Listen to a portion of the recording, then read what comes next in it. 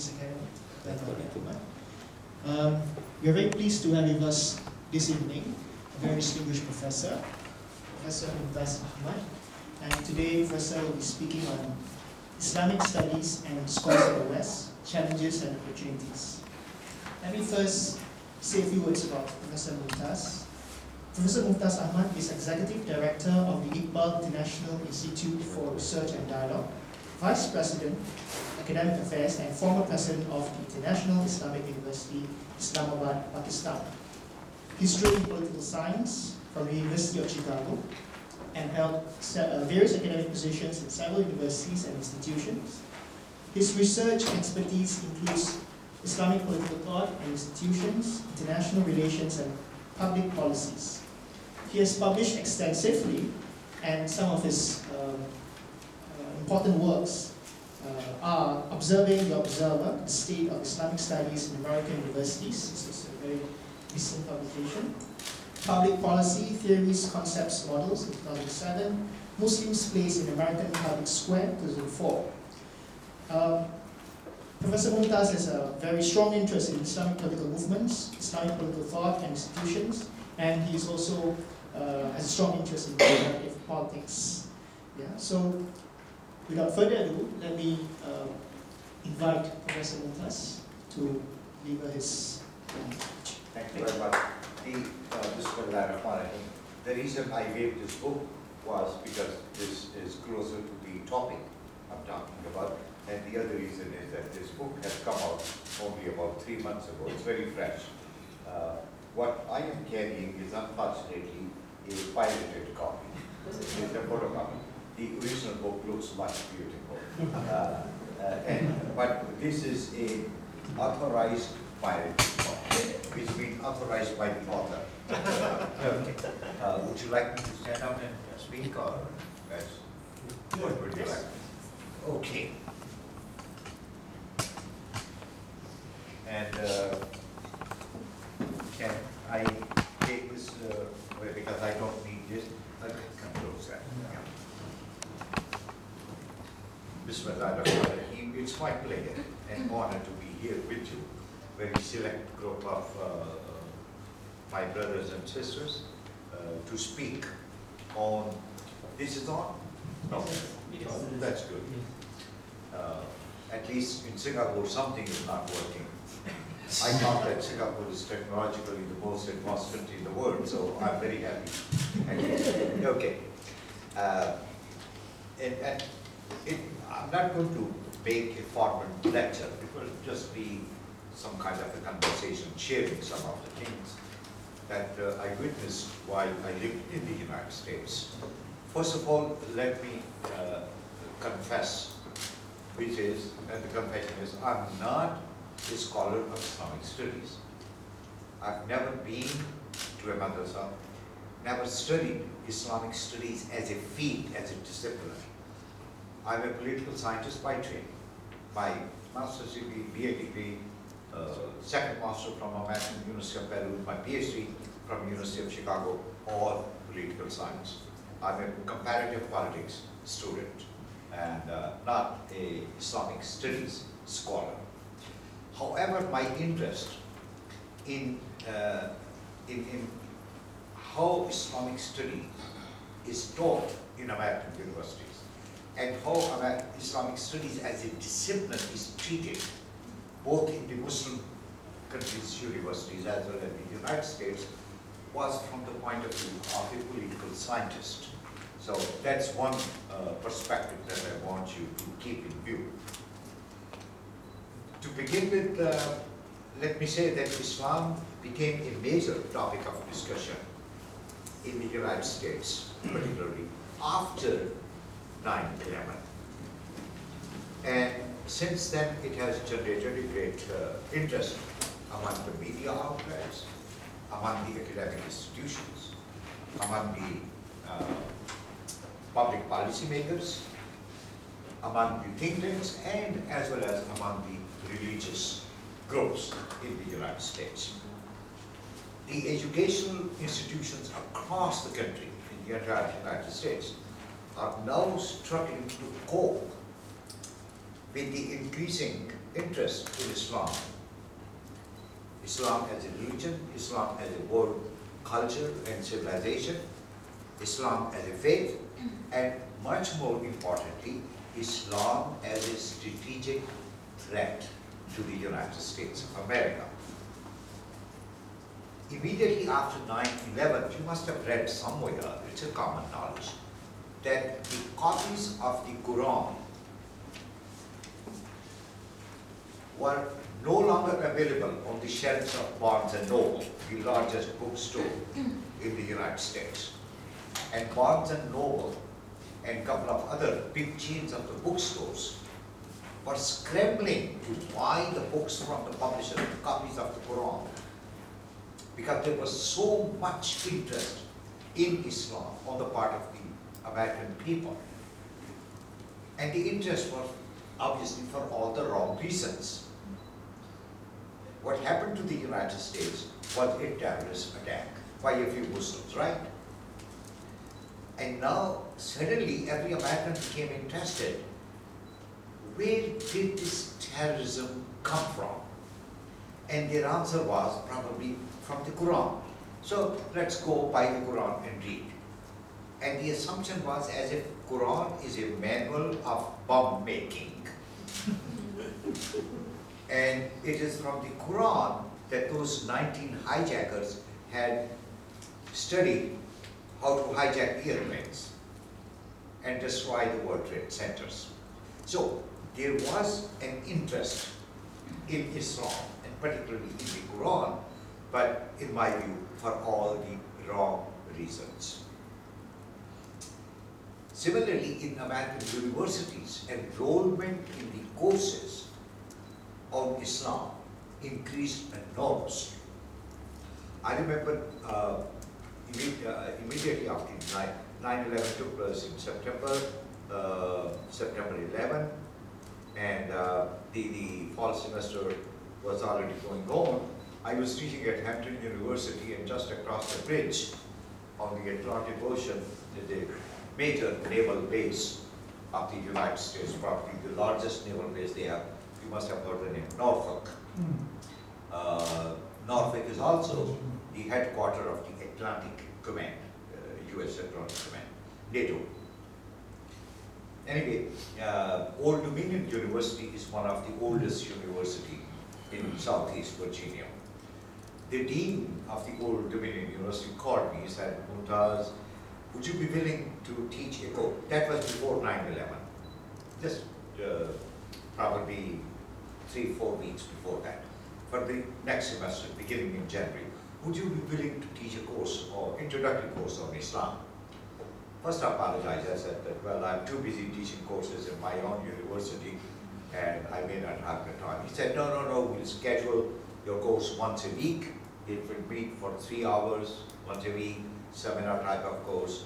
But we want, because there is no teacher in the entire university or in the Department of Religion and Philosophy who has any specialization on Islam. I said, well, I'm not a specialist in Islamic studies, but as a Muslim, I may have some knowledge about Islam, so I can teach a course on Introduction to Islam. Anyway, I received uh, some paperwork, contract, I signed that I'll be teaching this course, Introduction to Islam, beginning January next semester. Sometimes in the early December, I received the catalog, the listing, the small booklet of of the courses that uh, were being offered by ODU for the next semester. And I look around the page and then see where my course is listed. Do you know how did they put my course? The title of the course was no longer Introduction to Islam. The title of the course was Jihad and Islam. I picked up the phone. I said, what, what, I mean, why did you change the title? This was after 9-11, right? Before 9-11, it was Introduction to Islam. After 9-11, the dean himself changes the title and prints the catalog. It's Jihad and Islam. I said, why did you do that? He said, because you will have more students. the word jihad sells like hotcakes. So, if we have jihad in the name of the course, you'll see how many students will enroll. And lo and behold, in the very first week of the, of the enrollment, admission, I was told that more than sixty students have already enrolled from Advance. Sixty students. And the dean, before 9/11, was thinking about between ten to twelve students. That gives you an understanding of, of the idea how things changed in the United States and the interest about uh, Islam and Islamic studies increased. Recently, uh, there are many Ivy League universities that have received uh, millions and millions of dollars of funds, some from the Arab countries, some from the Triple IT, some from the US Foundation, to establish chairs in Islamic studies. Luckily, only in Stanford, which is one of the finest universities on the West Coast, a Pakistani doctor and his wife, who is also a doctor, they gave nine million dollars to establish a chair in Islamic studies. Another chair was established at Georgetown University. One chair was established recently at George Mason University, at Harvard University, in Indiana University, in University of California. And you know, in, in order to establish a chair, particularly in the first rate Ivy League university, you need at least minimum of ten to twenty million dollars. Georgetown insisted that if they want an Islamic studies program, they must have twenty million dollars. Harvard got about twenty-five million dollars. So this shows how Islam is becoming popular. It's uh, selling like uh, McDonald's burgers. Uh, recently, the debate on teaching Islam to the American campuses also reached another uh, level. When a summer orientation uh, program at the University of North Carolina in Chapel Hill, there's a professor called Carl Ernst, E-R-N-S-T. And I would urge all of you to read his book that was published about three, four years ago. It's called Following Muhammad. It's a beautiful book, not a very big book, about 200 pages, Following Muhammad. It's a beautiful biography of Prophet Muhammad but with reference to the issues of the modern age, written by Christian. And he's a student of Islamic Sufism, mysticism. So there is much kind of mystical, esoteric approach within that book. Carl Ernst, uh, what the University of uh, uh, North Carolina at Chapel Hill, what they do is that they announce the admission of the new students just before the summer. The new academic year starts in September and uh, summer, summer begins in the early June. And they announce the, those who will be attending the university next year in September, sometimes in March or April, or sometimes in May. Anyway, University of North Carolina had a program that they sent a letter of admission to all their students, and along with that letter, they give a list of the book. That when you come here in September, make sure that you have read these books during the summer. And during the first couple of weeks after the freshman class comes to the university, in the supervision of some senior professors, they discuss those books with the students, just to make sure that they have read it and they, if they had some question. What Carl Ernst did was, for the first time, he included a book written by Michael Sells. If you have heard his name, his book is called Quran, the Early Revelations.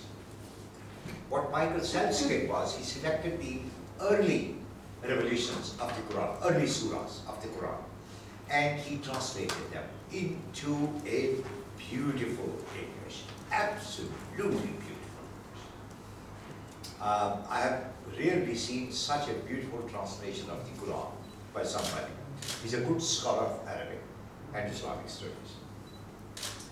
And the book also comes, by the way, with a, with a cassette, with a CD, in which he has given several different qira, the recitations of the Quran, Egyptian, uh, Turkish, Indian, Pakistani, etc. Anyway, so Carl Ernst added that book, the Quran, early revelations, in the reading list. Suddenly, hell broke out. Every single Christian group in North Carolina stood up and just said, what is this university doing? Is it going to convert our young Christian girls and boys to Islam?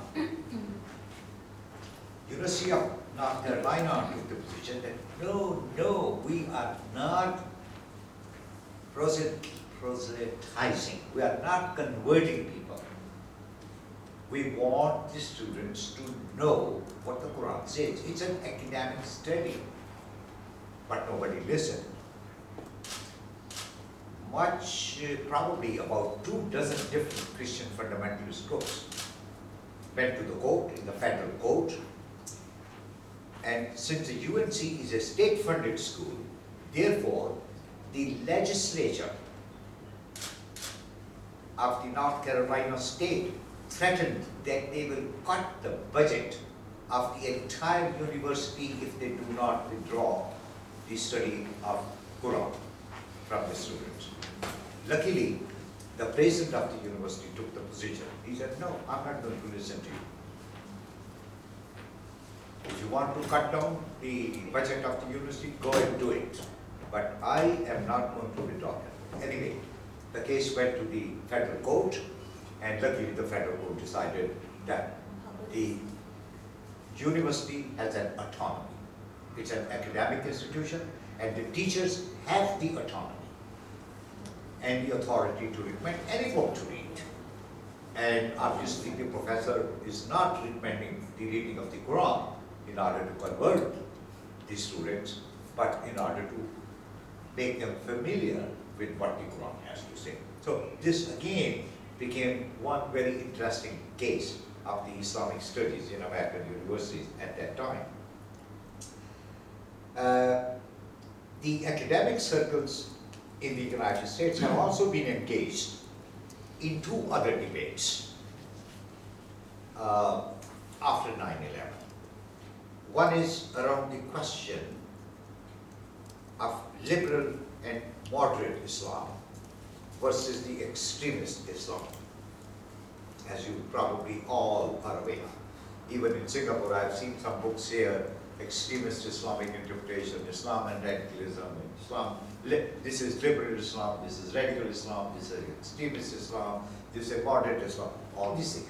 This became a major topic of interest in the American universities and among the think tank people, scholars. And the question basically was that who has the legitimate authority to represent and interpret Islam? Osama bin Laden, does he have the religious authority to represent our, uh, what was the name of that uh, Yemeni uh, guy, American citizen who was hit by the US drones and killed recently? Awlaki. Huh? Awlaki, yeah. Does Awlaki or Osama bin Laden or some of the other extremists, do they have the authority to be representative of Islam? And uh, then, if you remember, Rand Corporation came up with a study. Uh, it was written by the wife of a very good friend of mine, probably you know his name, Zalmay Khalilzad, who was the US ambassador to Iraq and then US ambassador to Afghanistan. He's an Afghan but, but uh, came to the United States, nationalized citizen. He married a, a girl from Vienna, and uh, she wrote a book. She wrote a study for Rand Corporation. What did it say? And that became a very popular advice book, a manual for the people in the State Department, in the Defense Department, in the White House, among the US Congress people. And that book, that report became a must read among the graduate students in American universities. And that report basically said was that the future of Islam and Muslims lies in liberal Islam. And what the United States and the American universities try to do is to promote moderate Islam, liberal Islam. Above the moderate Islam, they probably thought of the Sufi kind of interpretation of Islam, a more liberal interpretation of Islam. And as I was saying in the morning, no matter how often you say Islam is a religion of peace, Islam is a religion of compassion, Islam believes in universal values and all these things, no one is going to believe you. They still believe that, no, no, no, you're hiding something. Tell me, I mean, what is really your, your hiding? Anyway, so this debate became very important in American university. Liberal Islam versus the radical Islam, moderate Islam versus the. What Mahmoud Mamdani uh, once uh, described in his book, uh, this, this is another book that you should read, uh, Mahmoud Mamdani's book, Good Muslim, Bad Muslim. Uh, and, and basically the debate was who was a good Muslim, who was a bad Muslim, who was a, uh, a radical extremist and who was a moderate.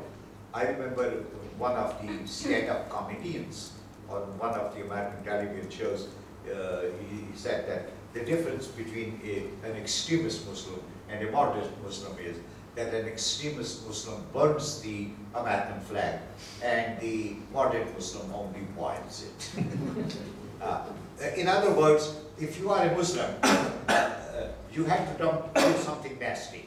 Uh, and there is not much qualitative difference between the radicals and the, and the, and the, uh, both the kind of modern Muslim.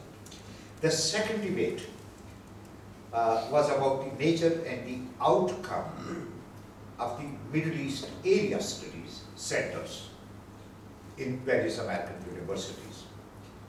This debate started with the publication of a book by a, I would call him very blatantly, a Zionist pro-Israel writer, Martin Kramer. And the book, the title of the book was Ivory Towers on the Sand.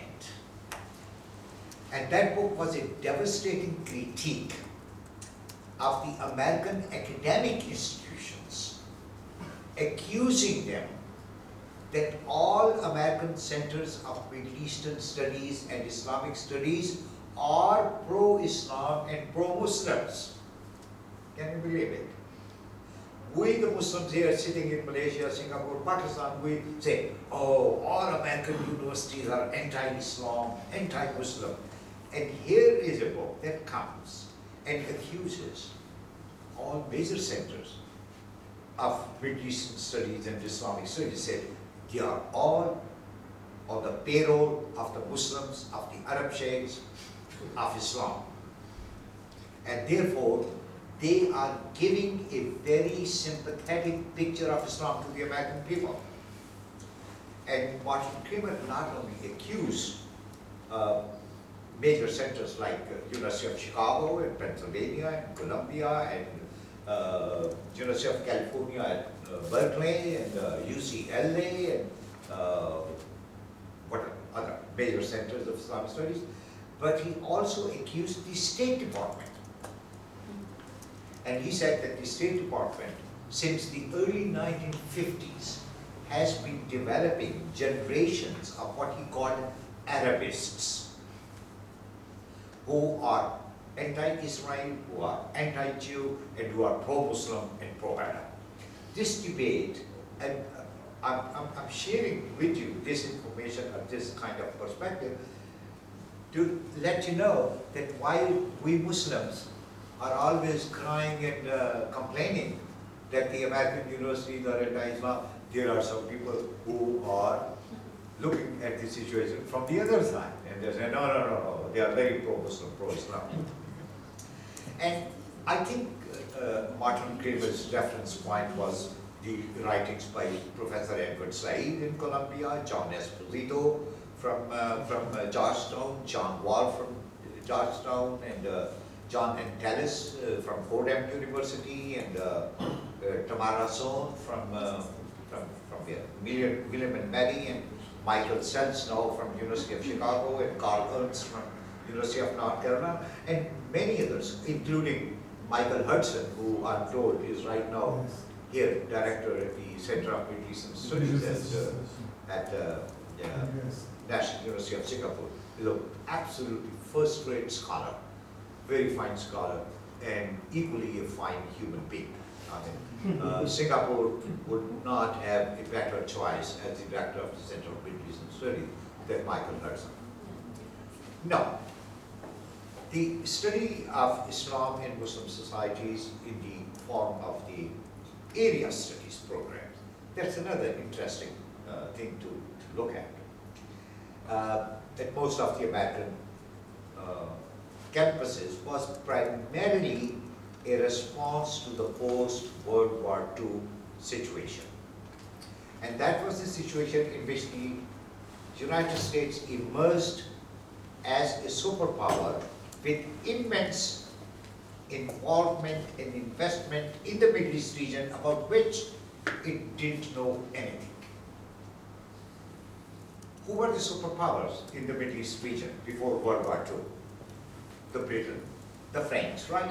Or the Italians to a certain extent. The Americans had absolutely no influence in the Middle East before World War II. Maybe they had certain missions uh, at two universities. One uh, was the American University of Beirut, which I attended, attended my master's, which was known as the Syrian Christian College a long time ago. But the Americans didn't have any interest in the entire region. They didn't know anything about it. Immediately after the World War II, when the two major colonial powers had, uh, were defeated, almost shattered, and they had to leave the Middle East, there was a power vacuum. The British had to leave most of the Middle East, particularly in the 1950s. Uh, uh, then, and then the French had to leave. The Americans were asked to fill the vacuum. And now they were the one to keep an eye on the entire region. The United States now formed itself primarily engaged in the affairs of the areas about which it had little, if any, knowledge available. Because there was no history of Islamic studies in American university before World War II.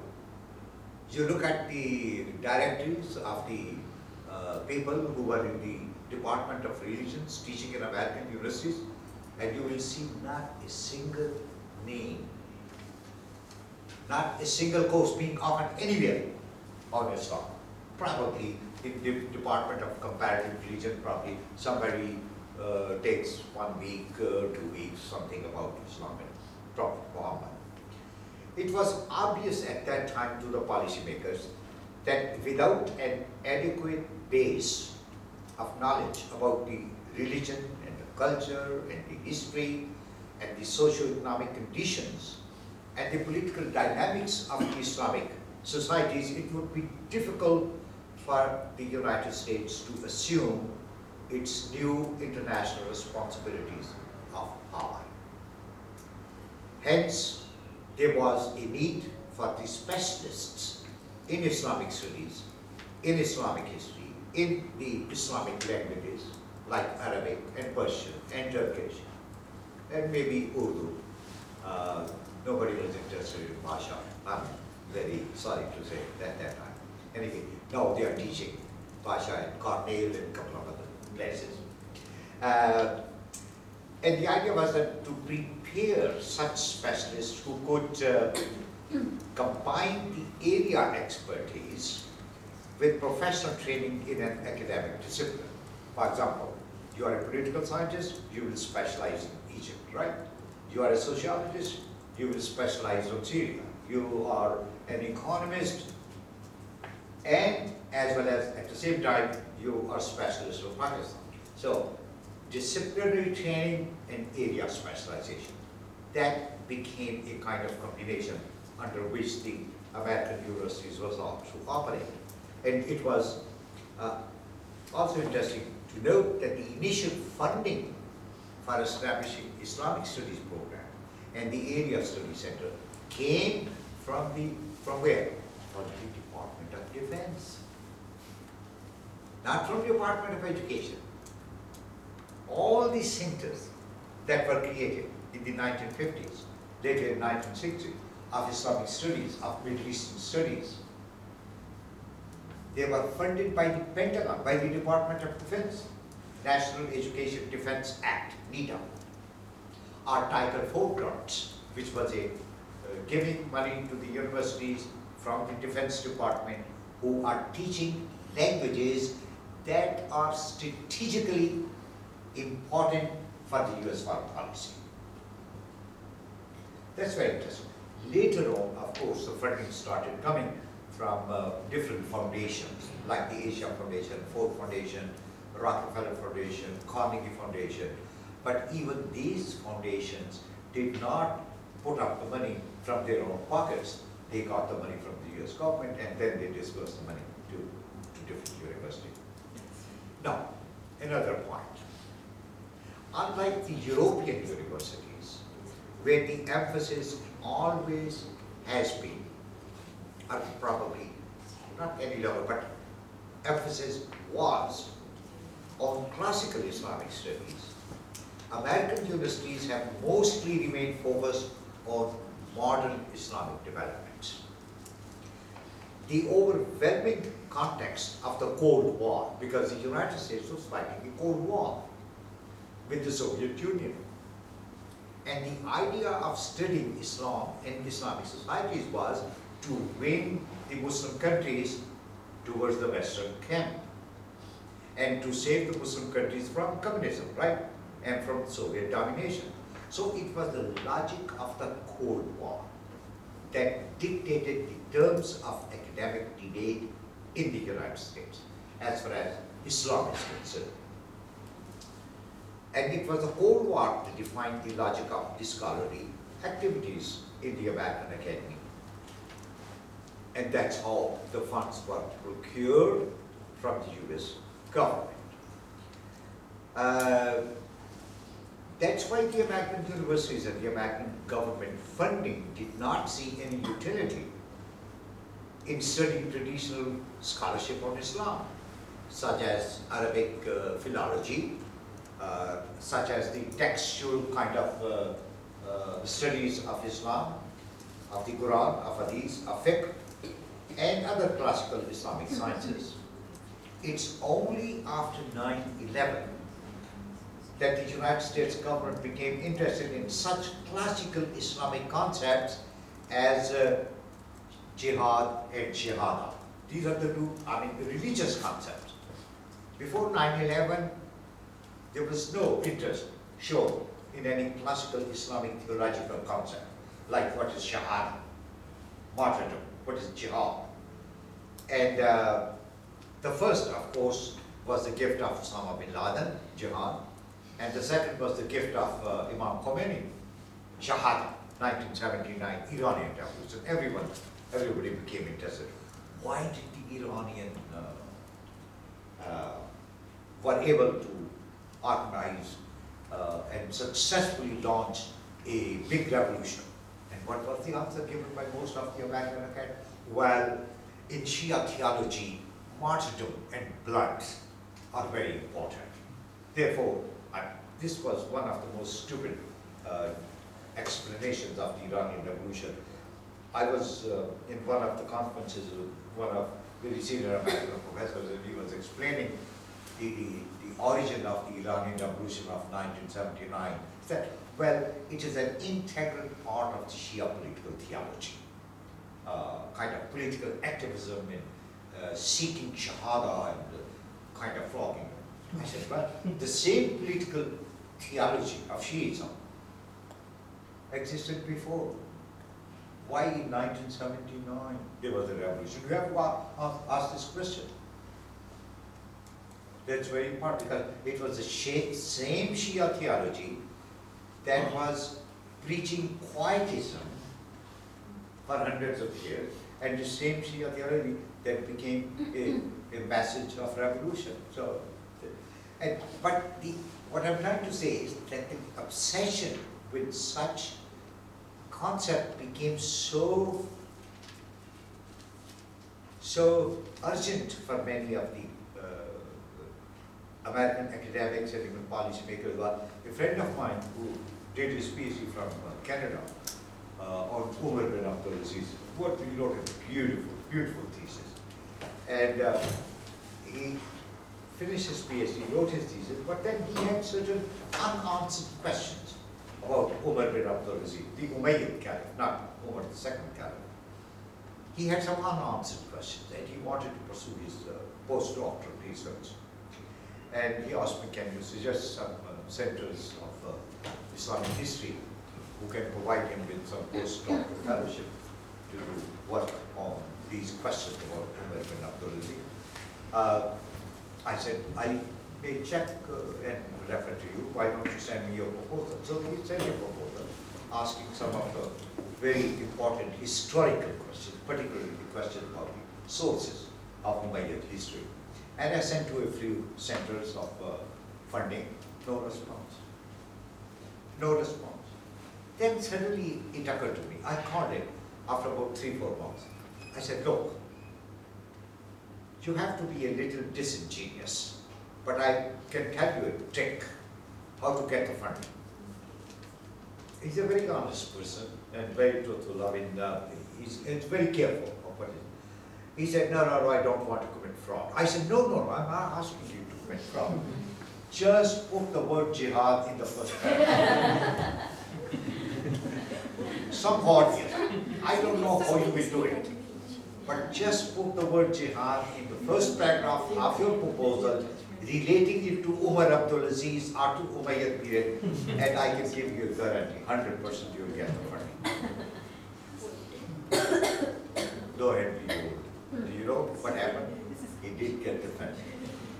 He did pursue it. Uh, he said he doesn't want, he just wanted to test the waters. Anyway, there's another interesting question I want you to, to address yourself about the, how Islamic studies is conceived. And that is the question of the geographical groupings of the Muslim societies in the area studies program in the American universities.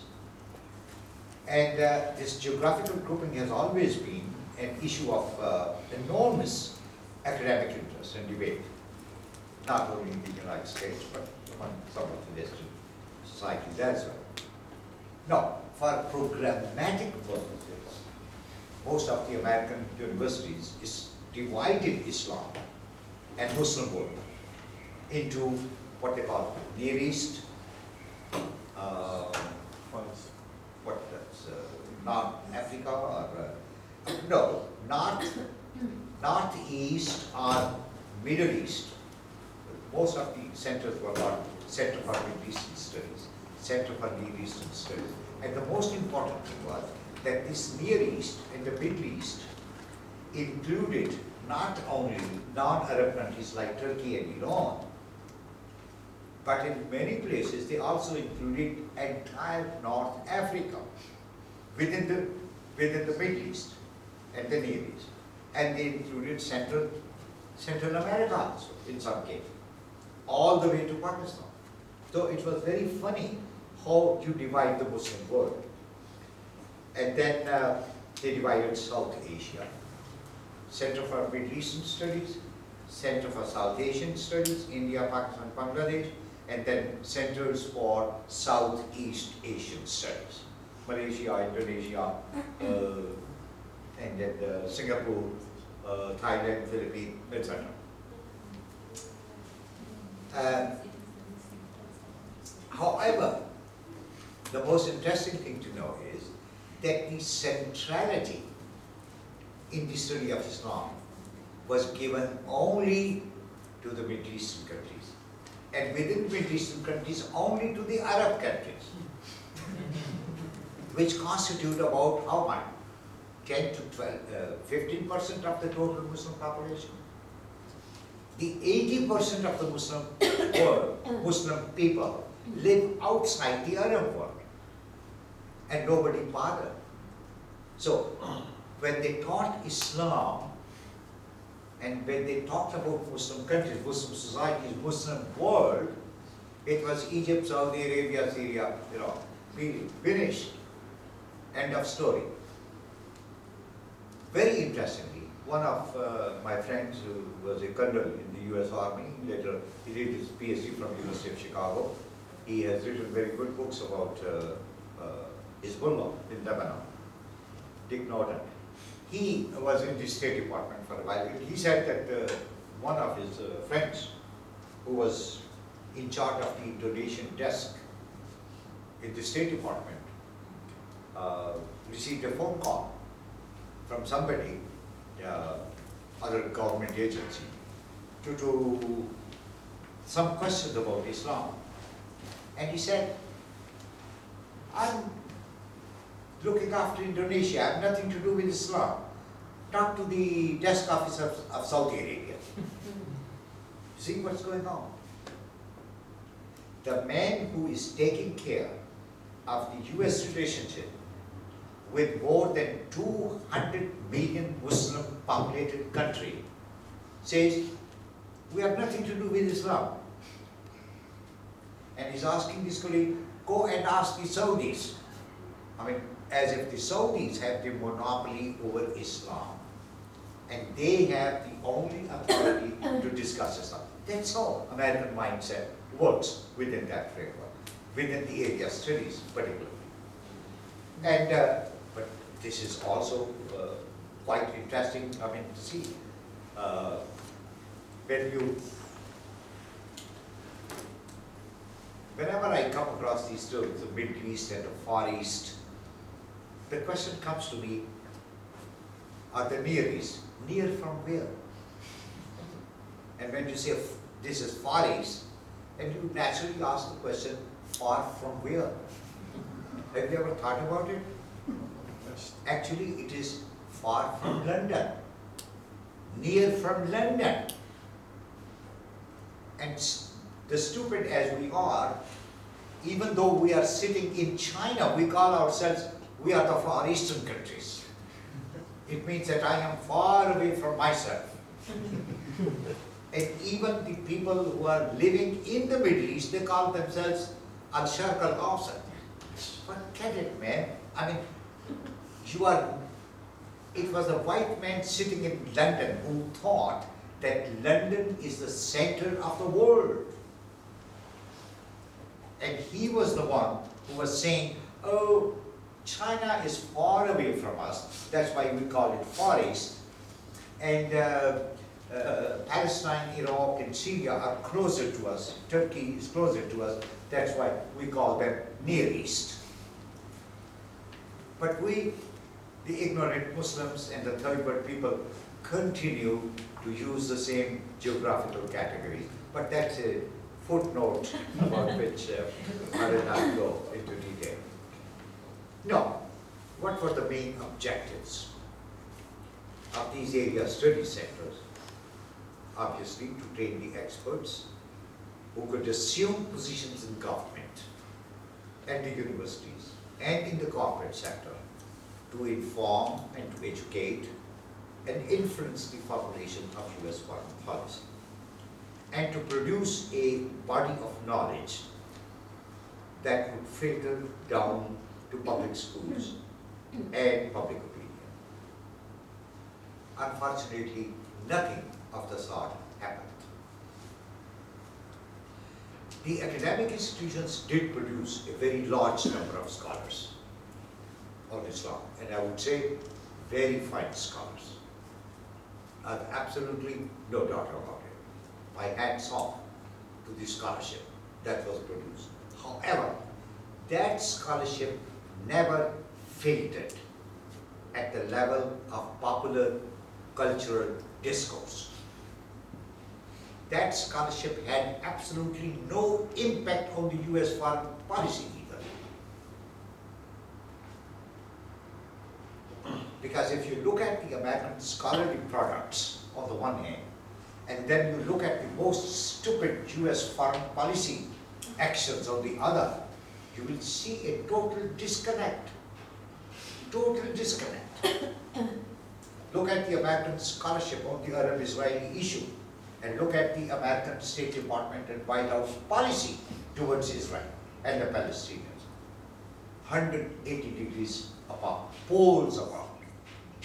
In other words, it appears that the American academic products have no impact on the US foreign policy making. And also, these academic scholarship works have not filtered down at the level of the public schools, at the level of the media. The media continues to stereotype Islam and Muslims in very vulgar terms. So, in a way, I would say that these area studies and the Islamic study centers have failed in achieving the objectives for which they were established. And I think this is one of the reasons why you see continuous failures in the US foreign policy towards the Muslim societies. People in the State Department and the White House and in the Pentagon, they don't, they're not interested in the fundamental issues. They're issues in urgent things, what happened yesterday, what happened today. I remember in nineteen eighty-one, immediately after the, two years after the Iranian Revolution, I finished my PhD, went to Washington from Chicago, and uh, I joined the Brookings Institution, which is the premier uh, center kind of uh, think tank, major think tank, which is closer to the Democratic Party. And uh, I was working with Bill Quandt, who was uh, President uh, Carter's National Security Council advisor on US foreign policy towards the Middle East. Anyway, when I arrived at the Brookings, uh, two weeks, three weeks after that, I was asked to give a lecture there, a public lecture, uh, to the colleagues in, in, in at the Brookings Institution, and then the Brookings invited people from the State Department and some of the other government agencies like Pentagon, including probably the intelligence agencies. Uh, you could look at people's faces and you can recognize these as CIA anyway, so there was a large group of people, and coming uh, straight and very fresh from the University of Chicago, and uh, in the University of Chicago, they don't teach you policy. Uh, never, which is, which is a bad thing to do. Uh, University of Chicago is only interested in theory, theory, theory, theory, no policy. I remember uh, the Nobel Prize winner, Milton Friedman, in economics department, when he would teach the freshman class, economics 101, the huge hall, about 120 students, you would enter, the room, go straight to the blackboard, and you would write three words. Equality, social justice, policy. And then you would look towards the student and say, these three words are banned in the. We don't believe in social justice, we don't believe in equality, and we don't believe in giving policy advice. So anyway, so being fresh from the University of Chicago, I, they asked me to uh, speak on what is Islamic fundamentalism. And if I remember correctly, I can give you the title of my talk. And the title was given by uh, Bill Quandt. And the title was, What in the Name of God is Islamic Fundamentalism? And what should we do when we see it? So, I probably spoke for about 35, 35 minutes, 40 minutes. And basically, I raised certain issues of theory, mostly theoretical questions. And after I ended, uh, one of the guys who was from the State Department, he raised hand. He said, well, Dr. Ahmad, uh, uh, your presentation was good, all he said, but I'm not interested in all kind of theoretical things that you're talking about. What I want to know is, when and where is the next US embassy going to be bombed? That's what I want to know. So, what's my point? If you ask these dumb questions from the academics, then that's what happens to your foreign policy. If you don't ask fundamental questions, then you, there's no uh, possibility that you can formulate your foreign policy on, on certain sound grounds. A couple of other things I want to share. Uh, it's very interesting to see that uh, there are about three thousand members of the MISA, Middle East Studies Association. These are the people, American professors, who are studying Middle East. Many of them Middle Eastern religions, culture, history, politics, economics. The Association of Asian Studies, on the other hand, has only one hundred fifty members who are specialized in the study of Islam. Can you believe it? There are three thousand American professors who are doing Islam in the Middle East. Only hundred fifty who are doing Islam in Asia.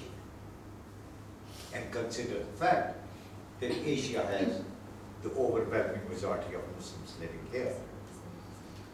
Eighty percent of the uh, Muslims who live here in Asian countries have no representation.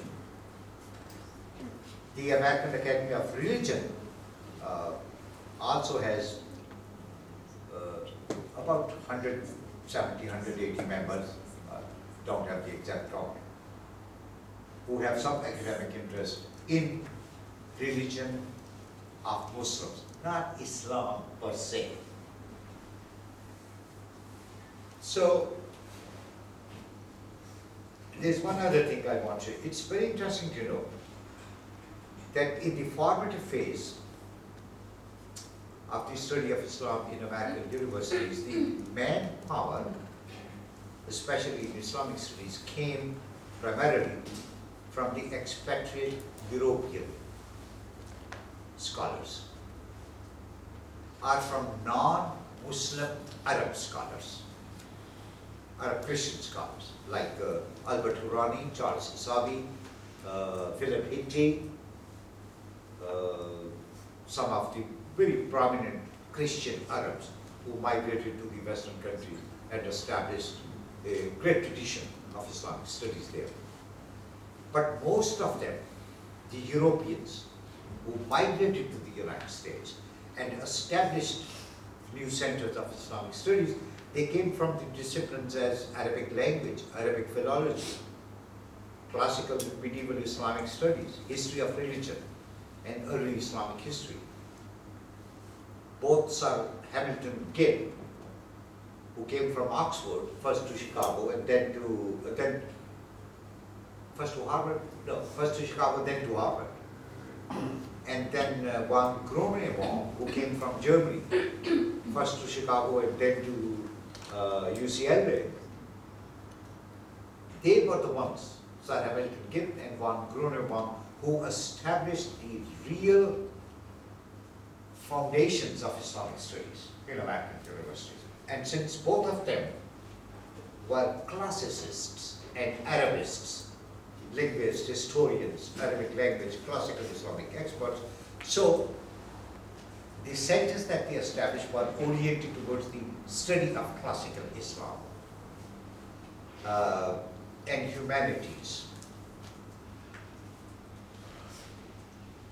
When the Cold War became came on its peak and heightened, it was only at that time that the Islamic studies transformed and changed from humanities and classical Islam to modern Islam and to strategic Islam.